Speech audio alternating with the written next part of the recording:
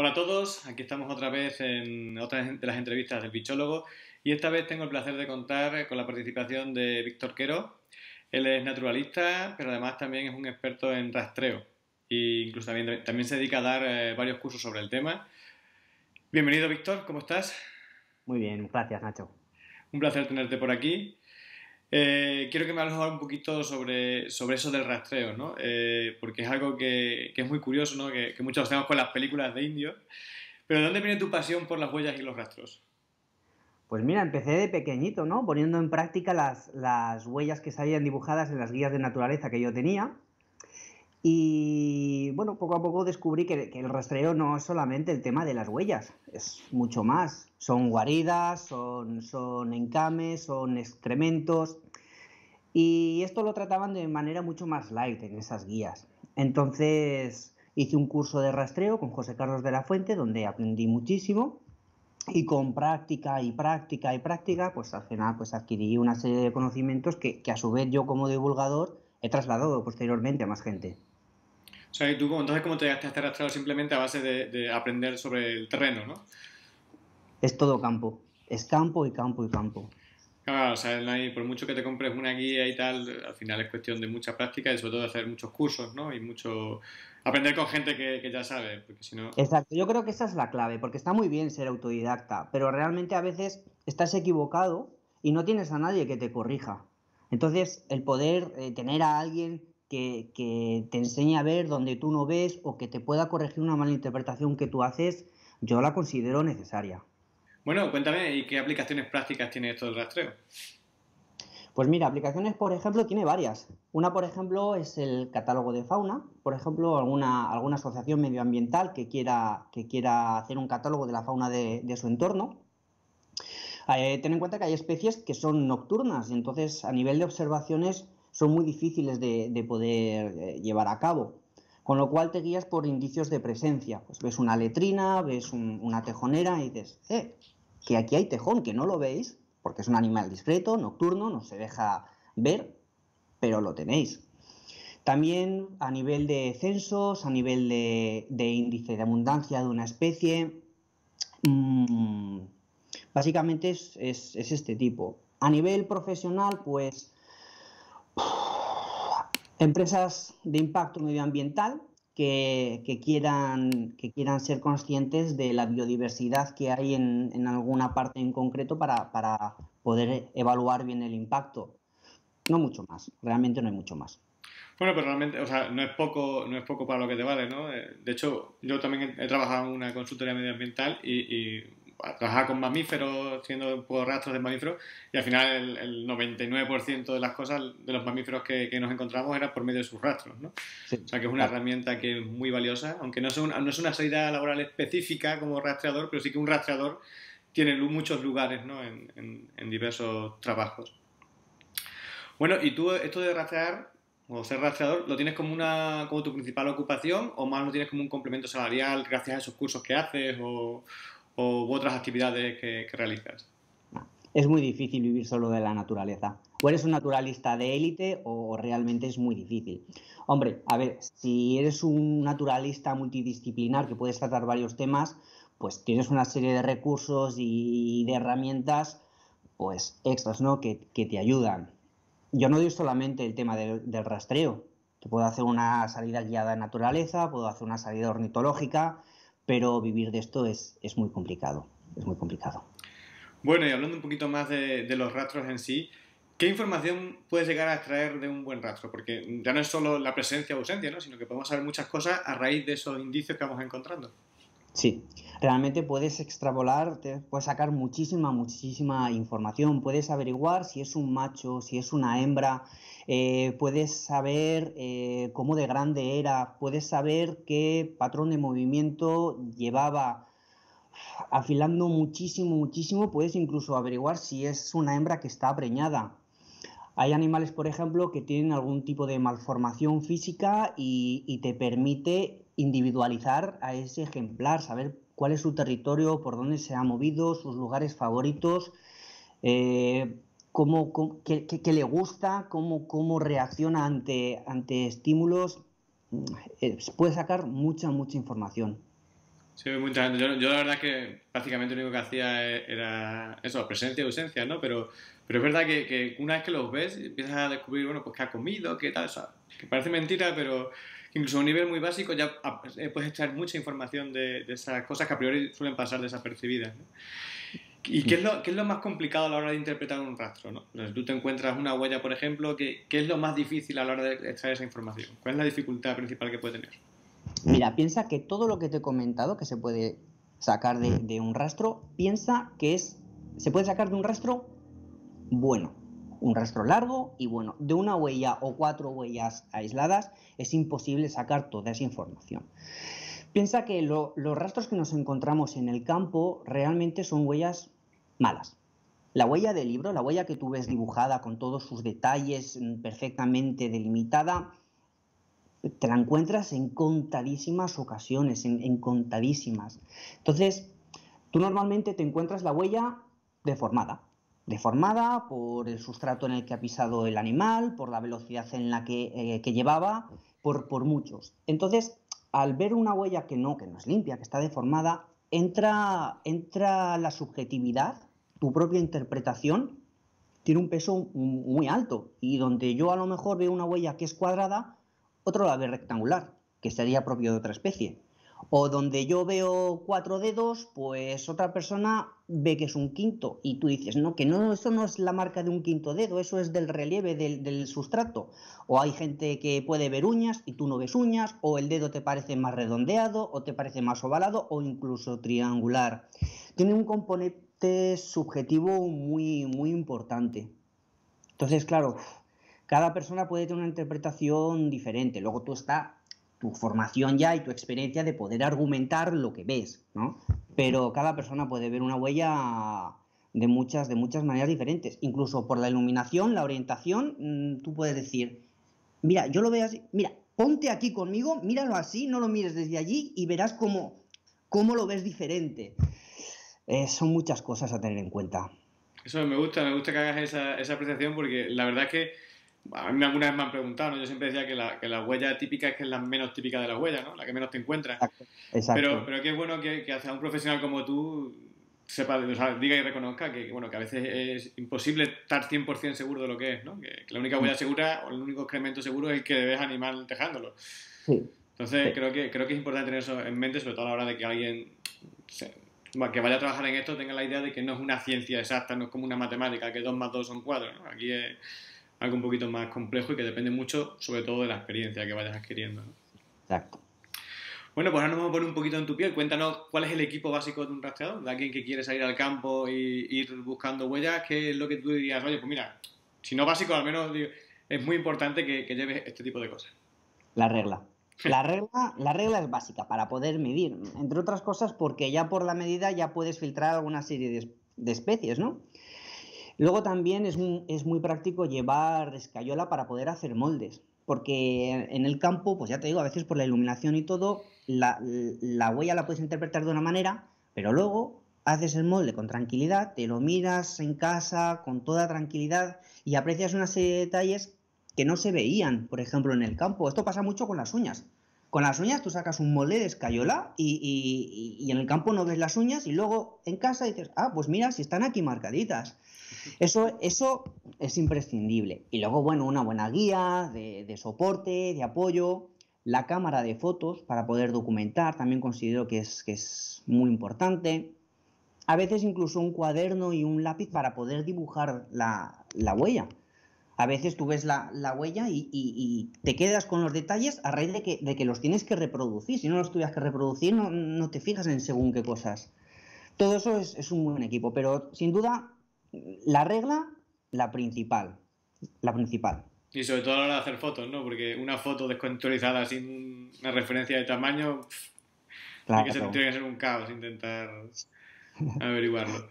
Bueno, el rastreo es algo que, que es una, te una, técnica que lleva existiendo, pues yo creo que desde que, como suelo decir, desde que el hombre es hombre, ¿no?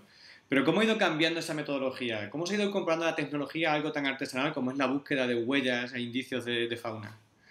Pues mira, realmente el rastreo sí que, sí que es, bueno, de los primeros oficios del, del mundo y siempre ha sido, siempre ha estado enfocado de cara a la caza. De sí, de cara a la caza siempre, incluso, incluso más recientemente con la Junta de Extinción de Alimañas, el rastreo se aplicaba para, poder cazarlas. Eh, ahora parece que en tiempos más recientes se ha abierto una pequeña puerta de cara al ecoturismo que está potenciando el rastreo pues, pues, pues para, el, ecoturismo. Entonces sigue enfocado de cara a la caza principalmente, pero bueno, hay una nueva una nueva perspectiva que parece que cada vez va más en aumento y, que tiene tirón. A nivel de tecnología, pues hombre, a nivel de tecnología sí, sí, porque, porque piensa que ahora todo el mundo tiene una cámara de fotos en el móvil y puede documentar una huella. Hace no tantas décadas, eh, el que decía, he visto una huella de tejón, ¿cómo lo demostraba? O se llevaba ya la gente no lo podía demostrar. Entonces es una forma de documentar, de poder, de poder demostrar. Y también el GPS, el uso del GPS. El uso del GPS eh, para marcar las coordenadas y por el tema de censos y de índices de abundancia que comentaba antes, también es práctico y hace unas décadas tampoco se podía llevar a, cabo con él. Mm. Sí, sí, yo creo que esta es la manera. Bueno, y cuando, cuando pongamos que te has encontrado ya una huella, ¿no? ¿Cuáles son las principales características en las que te tienes que fijar o tener en cuenta a la hora de identificarla? ¿no? Pues mira, hay varias claves. Hay varias claves a tener en cuenta. La forma de la almohadilla, la forma de los dedos, la separación entre la almohadilla y los dedos, si ha marcado uñas, si no ha marcado, cuántos dedos, si ha marcado talón. Hay muchas claves que tienes que tener en cuenta. Ojo, partiendo de la base de que no todas las claves se ven reflejadas en la huella. Porque que no haya sacado el animal, no haya marcado las uñas, no significa que el animal no tenga uñas, simplemente se han marcado. Y con eso tienes que trabajar. La verdad que es una, pasada de, detallitos, ¿no? Que luego muchas veces pasan desapercibidos. La gente piensa que a menudo que este trabajo, pues bueno, tú vas por el campo, ves una huellita y la apunta, sino que es verdad que, hay todo un proceso casi detectivesco, ¿no? Para, para mm. averiguar lo que es. Y por ejemplo, un excremento, que es algo que a priori parece como más sencillo, ¿en qué cosa te fijarías? Los excrementos es difícil. Los excrementos son los más difíciles. Igualmente tienen, tienen sus claves, ¿no? Pues la longitud, eh, el diámetro, la ubicación, sobre todo, porque hay animales que hacen eh, excrementos de forma aislada, otros lo utilizan letrinas, algunos los hacen a ras de suelo, otros los hacen en alto, pero el tema de los excrementos es muy difícil, es muy difícil porque piensa que hay están condicionados por una serie de variables que, se nos escapan. Piensa que un excremento varía en función a la dieta del animal, a la edad, a la humedad del ambiente, a su estado de gestación. Depende de muchas cosas. Incluso muchas veces es necesario un análisis genético para poder diferenciar bien qué especie es. Entre lobo, por ejemplo, y perro asilvestrado, muchas veces es necesario un análisis, un análisis genético. Mm. El tema de los experimentos es, complicado, es, complemento, es, complicado. Sí, yo cuando empecé en, ese mundillo siempre pensé que se iba a ser relativamente sencillo, ¿no? Porque bueno, y tal, siempre veían las típicas eh, plantillas o imágenes y tal de los típicos excrementos y luego al final es que ibas por el campo y yo decía, ¿esto qué es, no? Hasta que te vas cogiendo un poquillo y te acostumbras a las épocas en las que los encuentras y demás. era como, para mí era un mundillo. Y en el tema de los excrementos, por ejemplo, piensa que también entra mucho lo que hablábamos de la subjetividad, porque hay veces que te dicen, la garduña tiene un excremento eh, con olor dulzón, que obviamente dependerá de lo que haya comido. Dices, un excremento con olor dulzón. O sea, habrá gente que se acerque y le repugne desde el principio y ni olor dulzón ni nada. Entonces, claro, esa subjetividad es, complicado, es, complicado. El tema de los excrementos es complicado. A mí me hace mucha gracia eso del olor, porque, por ejemplo, yo he trabajado mucho con Desmán ibérico y una, y una de, de los caracteres diagnósticos es el, olor que cada uno lo describe de una forma distinta, que si a gambas podridas, que si al mixcle, que si no le... Claro, tú le dices a uno y dices, pues yo no, no huelo esto, ¿no? Entonces al final es una cuestión de que ya veas uno, tú te quedes como te huele a ti y ya a partir de ahí lo usas de referencia, ¿no? Pero es muy curioso. Mm. Bueno, y aparte de, huellas y excrementos, ¿no? Aunque ya nos has comentado algunos eh, ahí por encima, cuéntanos qué más, qué otro tipo de indicios podemos ver, ¿no? Porque, claro, todo el mundo piensa en, el rastreo y ya piensa en huellas y en excrementos, pero al final son bastante todo el mundo, Cuando habla de rastreo piensa, piensa en, huellas, pero realmente el rastreo son, son muchas más cosas. Yo, yo en mis cursos los indicios de presencia los, los clasifico en cinco diferentes. Por una parte están los, los indicios que vienen por parte del, del movimiento del animal, señales de desplazamiento que se llaman, como pueden ser las huellas, pero tienes señales de haber comido, como pueda ser un excremento o pueda ser una piña roída, señales que vienen de, de guaridas, como puedan ser encames o madrigueras, señales eh, también de, restos corporales, como las cuernas de los, ciervos, eh, restos óseos, señales de comportamiento, como puede ser una bañera de un jabalí, eh, como puede ser el arañazo de un gato, la escodadura de un ciervo. Hay, hay cinco, cinco diferentes. Desplazamientos, restos alimenticios, restos, restos corporales, restos de comportamiento y, cobijo, madrigueras y encames. Mm. que es mucho más complejo ese mundo de lo que, la gente se, piensa a priori. Sí, la gente piensa en huellas, es normal. Es normal, pero no, no, no, el rastreo es mucho más. Y otra cosa que también piensa mucho la gente cuando piensa de rastrear, pues siempre piensa pues, en un ciervo o en un jabalí, ¿no? Pero eh, ¿Cuáles son los grupos animales o las especies que son más fáciles de, rastrear y cuáles son las más, las más complicadas? ¿no? Porque además no solo, no solo en especies, sino incluso grupos animales, ¿no? porque no solo se rastrean mamíferos. Hmm. Realmente los más fáciles son los más grandes, más que nada porque al pesar más son los que dejan las huellas más, más marcadas y también porque al desplazarse son los que dejan unas señales pues más, más ostentosas. ¿no? También los animales urbanos, como pueden ser jabalíes o ciervos, son relativamente fáciles porque pueden llegar a ser muy habituales y pueden llegar a ser mm, accesibles. Y los que menos los micromamíferos. Apenas, apenas dejan, dejan, dejan huellas porque no pesan casi. Si no te basas en, restos, por ejemplo, una avellana roída, una, roeduras, básicamente roeduras y excrementos si encuentras alguno. Hmm. Bueno, tú ya tienes mucha experiencia en esto de ir al campo y buscando indicios, ¿no? Pero ¿cuál es, cuál es el rastro más curioso que te has encontrado nunca? O, al menos, o, cuál es el que más ilusión te ha hecho encontrar? Anda, mira.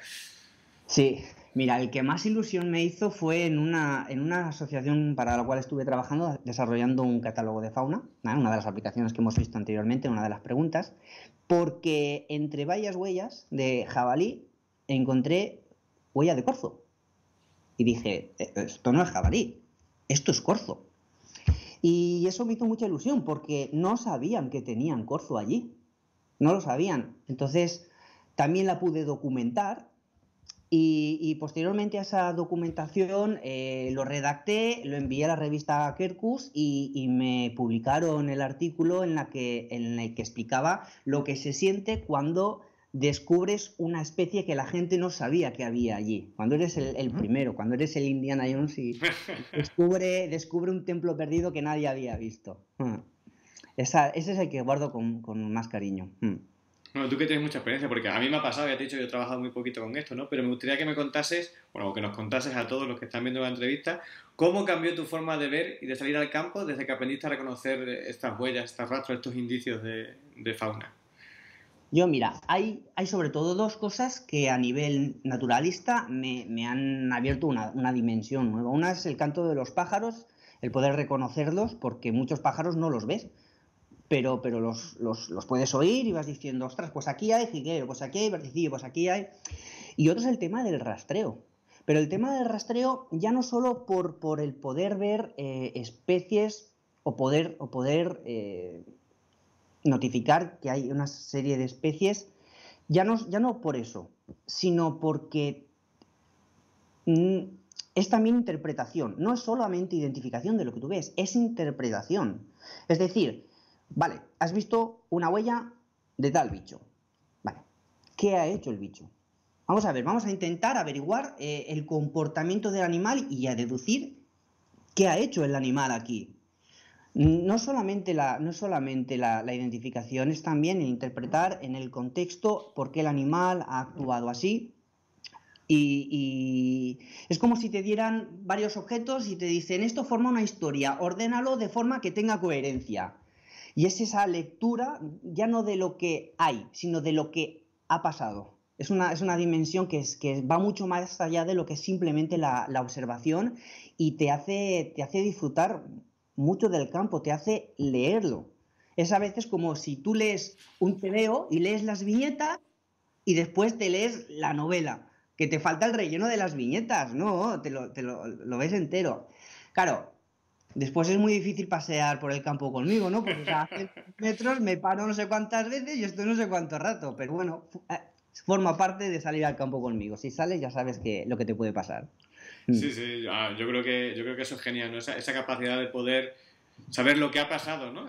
Cuando no, ves, no hay ningún animal físicamente, si no puedes ver, bueno, pues aquí el animal iba corriendo, aquí se ha parado, aquí ha hecho tal, aquí ha hecho cual, o este excremento estaba comiendo no sé qué. Yo creo que eso es como, no sé, como ver todo distinto de ahora. Tú piensas que un animal tiende a dosificar sus energías. No corre porque sí, correr porque sí es un gasto energético que, va a intentar evitar en todo momento el animal. ¿Por qué ha corrido? Si ha corrido es por algo. interpreta, había un predador, se ha sentido expuesto, pero por algo ha corrido, porque si no, no hubiera corrido.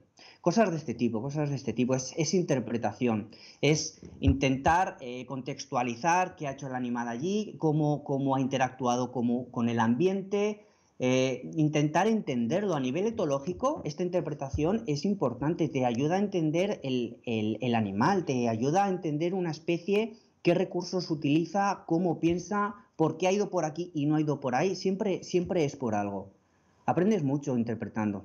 Yo, creo que eso es fascinante. Una de las cosas que me encantaría a mí aprender bien, bien. No, solo ya decir, bueno, esto es tal, sino, bueno, pues esto es tal, pero es que además estaba haciendo esto, esto y esto, ¿no? Eso yo creo que es una pasada. Bueno, eh, ¿qué, otros proyectos tienes en marcha tú ahora mismo? ¿Cuáles son tus planes en, este mundillo de, del rastreo, de la divulgación y demás?